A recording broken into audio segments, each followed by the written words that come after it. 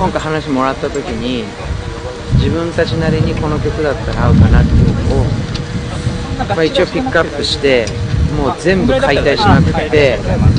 もうゼロからもう一回作り直すはい、わかりました。そういう作業をして出来上がった曲なんで。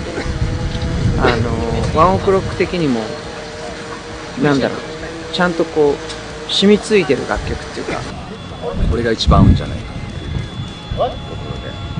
曲選びました。サードでデビューしてはいはい。でそこから面白いなと思ってあのうちのベースの亮太とずっとやってたんですけどでそっからそれが終わってちょっともうあい期間今回空いた空いちゃったんですよね。だからすごいこのアプリのやつすごい楽しみにしててちゃんとあのなんていうんですか鉄鉱石とはいかいろいろそのなんか石集めたりとか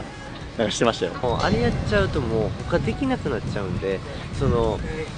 本当時間ある時にしないとモンハンは本当すごい面白いんで。